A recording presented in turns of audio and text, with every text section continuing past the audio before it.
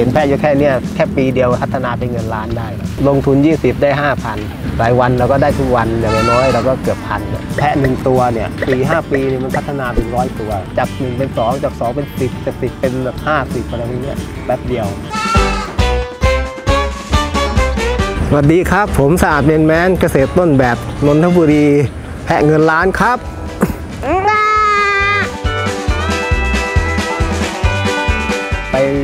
มัครเป็นอาสาพัฒนา ด้านการเกษตรและด้านปศุสัตว์และเลี้ยงแพะเนี่ยจะได้อะไรบ้าง แล้วก็ดูตอบโจทย์เอาหนึ่งเราสามารถผลิตนมได้ทุกวันรายได้ต่อปีเร็ว ตอนนั้นก็เริ่มจากสิบแม่นะเลี้ยงแพะเนี่ยพอรีดนมได้เออได้ตังค์ทุกวัน เริ่มต้นตั้งแต่ปี 42 ปัจจุบันมันก็ 63 ก็ 20 กว่าปีแล้วมีตังค์แค่หมื่นห้า แล้วก็มีโรงไก่แล้วแล้วก็มายกพื้นหน่อย มีไม้เก่าๆก็มาทำแรกก็ค่อยๆทำค่อย ๆ ต่อ ต่อมาพอเห็นว่ามันเดินได้ปุ๊บผมก็กู้ทกสเลยกู้สามแสนเลยยกโรงเรือที่เห็นเนี่ย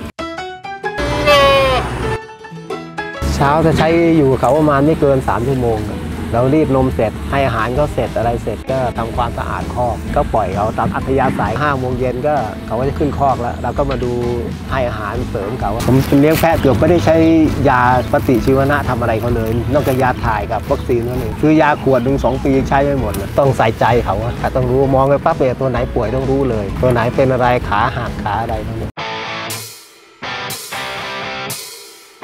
เฉพาะผมเนี่ยทำมาแค่ 5 ชั่วโมงคือเห็นแพะเยอะแค่เนี้ย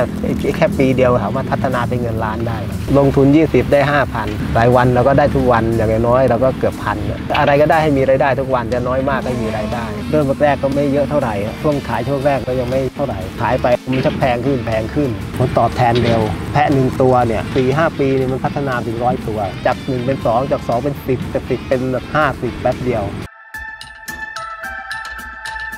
ตอนนี้ตลาดก็ยังไม่พอส่งออกก็ยังไม่พอแค่คุณภาพนะจะมีปัญหาก็คือเรื่องนมนิดหน่อย นมก็ยังตลาดไม่พอ แต่เราก็พิจารณาเรามีโรงพัชไร้นม เรามีโรงเชือดแล้วในเขตของเราเนี่ยเราค่อยพัฒนากันขึ้นมาเรื่อยเนี่ยผมของเรานี่มีส่งไปต่างจังหวัดด้วยที่มีคนผลิตทรงคือสายพันธุ์เนี่ยเป็นมีที่ไหนมาซื้อบ้าง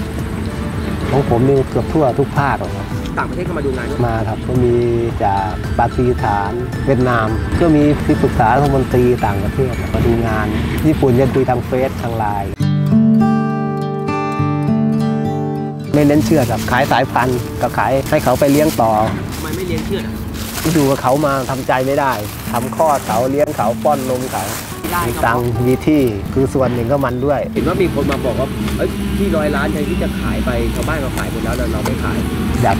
มีคนถามว่าบ้าใช่ไหมครับเอาที่ร้อยกว่าล้านมาเลี้ยงแพะใช่ไม่มีใครก็ทำเนี่ยส่วนใหญ่ก็จะขายที่แล้วไปลงทุนไปทำธุรกิจแล้วแต่ความถนัดของแต่ละครอบครัว ส่วนใหญ่ก็ไปปลูกบ้านไปซื้อรถเรามาเลี้ยงแพะ แล้วก็ขายแพะไปซื้อรถ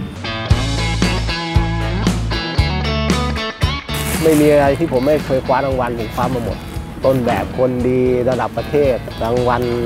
คนดีสีแผ่นดินผมได้มาหมด เวลาเราอยู่กับพวกเขาเรารู้สึกยังไงบ้างก็มีความสุขดีแหละคือทางการเลี้ยงเข้ามาขณะผมไปนอนโรงพยาบาลเป็นเดือนนะก็นึกถึงเขาอะกลับมาต้องมาหาเขาอะขนาดเดินไม่ได้ลูกเขาเอาเข็นรถมาให้มาดูแพะขับรถมาดูแพะหน่อยอยู่หรือเปล่า มันมีความผูกพันกันอะเขาช่วยเรามาเยอะแพะก็เหมือนลูกครับเหมือนลูกเราเลยเลี้ยงเหมือนลูกอะเลี้ยงลูกยังไงเลี้ยงแพะอย่างนั้นใช่